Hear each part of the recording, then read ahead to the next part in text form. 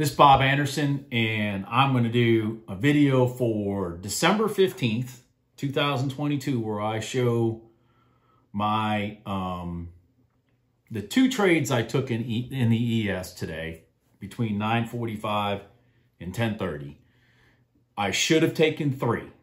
Um, I just wasn't paying attention to the fact that it had passed 9.45 because uh, there was one trade that set up at exactly, um, I think it was 946. That worked.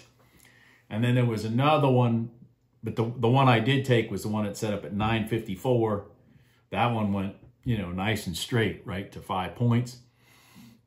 And then I took another one at like 1009 or something, which failed. So anyways, um, I'm going to show you those three trades, going to show you show you why I did take them, or the i.e. the one I missed. Then I'm gonna then I'm gonna delete all the one minute lines because I want to get into a quick little conversation as we get closer and closer to New Year's. I, I um, you know, today the market, the, the ES was down quite a bit. So, um, so I was able to, you know, you, to, to, to trade the ES and make some money on it.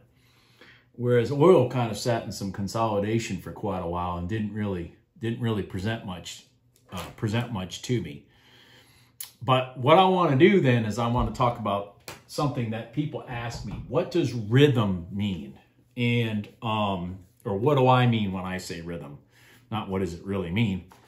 Um, you know, what what do I mean when I say rhythm?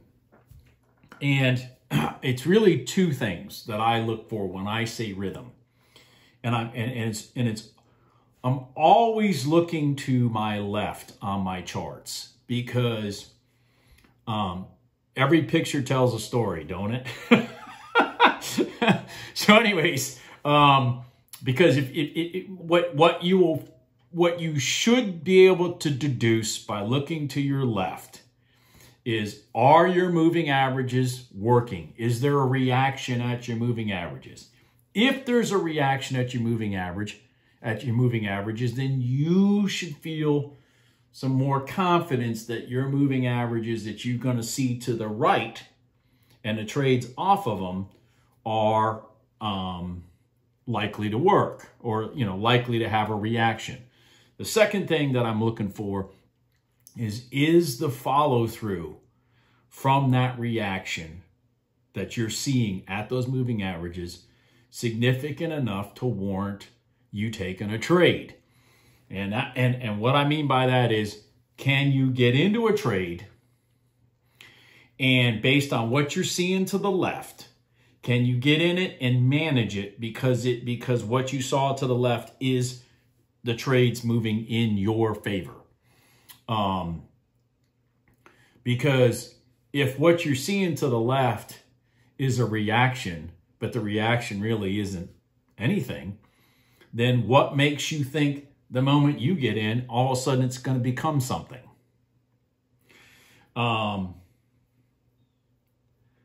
I don't think I could say that enough. That's why I talk about not trading in consolidation.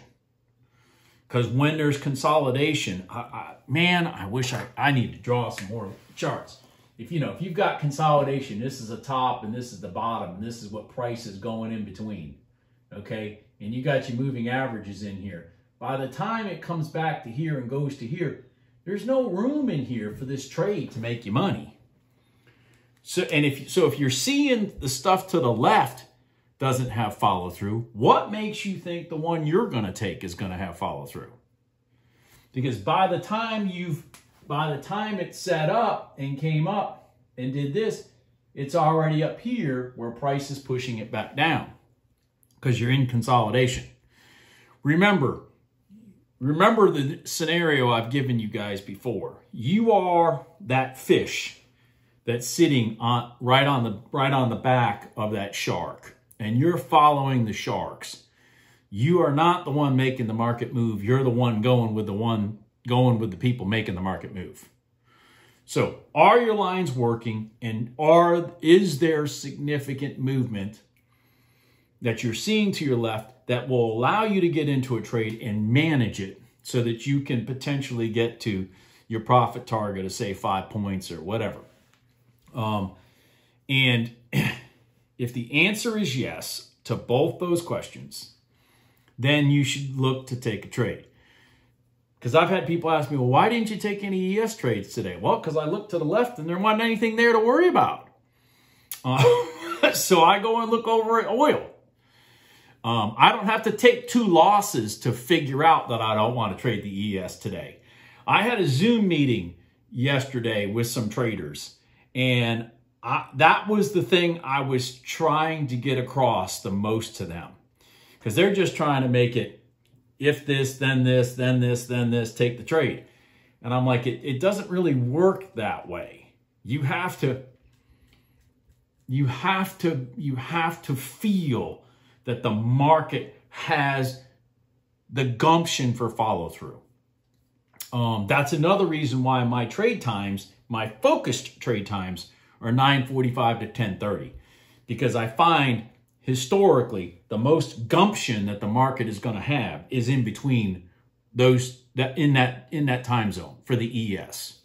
Oil can string out to 11 or more, and then there's some things that can happen in the afternoon too with with both of them, but um, that's that's for more advanced discussions um, not today's discussion. So what I want to do is I, I want I want I want you to avoid the traps. I mean, not every trade's going to work though. We talked about that. Not every trade's going to work.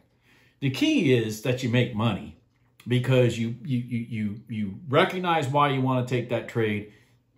If one wins and one loses, and then and then and then and then you know whatever, then you're doing really good. Um, you know, I think I made a couple hundred dollars per account today, you know, and, uh, and I should have made more. I should have had that first trade I totally just missed. Should have been another 250 bucks in my pocket. But, you know, again, I make mistakes too, folks. The key is I work my way out of my mistakes by recognizing price action, getting my money back, and um, and knowing why I'm in a trade, where that trade is supposed to be going, and what it is that I'm trying to accomplish to then just shut down my charts for the day and call it a day. um, anyways, so let me show you the trades on the on the ES. Then what I'm going to do is I'm going to eliminate all the one minute moving averages from both the ES and oil. And I'm going to show you some price action there too. And, uh, and, and, it may be something to focus on um, as we get closer to the holidays because, you know, the bigger money plays off those, those bigger, those bigger moving averages. And you're just trying to, you're, again, you're looking for that, you're looking for that big shark. You're looking for the shark to push you to your profits.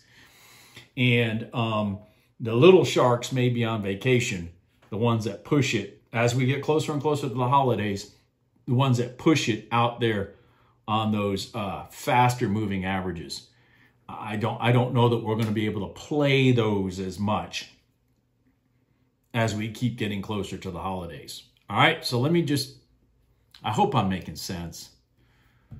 I really try not to confuse people. I really try not to. Yeah. Anyways, I don't even know if I just confused a bunch of people. Let me show you the charts first. All right, so here is my ES chart for today. Okay, so, you know, we had a lot of news today and yada, yada, yada. So, I mean, I just kind of, I kind of got, you know, I kind of was complacent about even thinking about the ES. But then we broke down. We were consolidating all the way through here and here and here. Then we broke down, rolled up. This is uh, 940, 940. That rolled down, rolled up. And then right here's the trade I missed. See this pivot low? See this pivot low right here? We created a new pivot low right at 945. Ran up at 946. I should have had that short right there at 948. uh, 940, I'm sorry, 947. I should have had that one. I missed it. I just wasn't really paying attention. Um, it, it, it did get beat around, beaten around a little bit. But you know, it had a, it had a pullback of, let me see here. You're in at 65.25, 66.50. So one, two, three, four, one, you had a pullback of five ticks. Ran down to your target right here. So there you are, five points. Came down, created a new pivot low, another higher low, another higher low, and bam, there's the trade I took. Right there. I was in at 39.60. Boom, out at 39.55. And that thing collapsed. Boy, there was money left on the table with this one. Roll down, roll down. New pivot low, higher low, higher low. Boom, short there, bam, out. That was it. I was done. I was done with the ES at that point. Um, so I, I, missed the first trade that's in my trading strategy to be past 945. I did hit the second one, which got me, um, you know, five points. Could have gotten freaking 10. Could have gotten 15. Anyways, and then I, and then the third one, probably shouldn't have taken it. Well, I definitely shouldn't have taken it. But anyways, who knows? Um, so that's it. So what I want to do just quickly is I want to take this and I want to take my indicators, my one minute, in my, my remove, remove, and remove. And I want to just show you guys this again. Again, this is the cleaned up version of the ES. Uh, now the ES, again, this is part of studying charts. Study charts, look for reactions, okay? The main thing that I want to show is look at how, look at how, this was at the open, so there's nothing there. Don't worry about it. But what it shows you is the reaction off the, the 105 SMA red line. See that? Does show you a reaction. So there you're sitting there going, hmm, okay.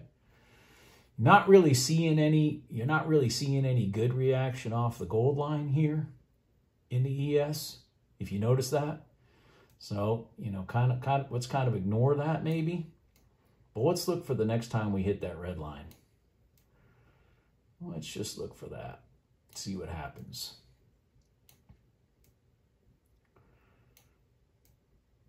Phew. Man, when did that even happen? Oh, here we go. All right. So here's your red line right there. Short. I mean, if you do, if you do the first, here's your touch.